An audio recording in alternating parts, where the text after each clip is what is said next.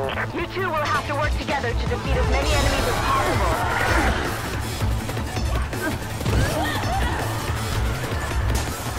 possible.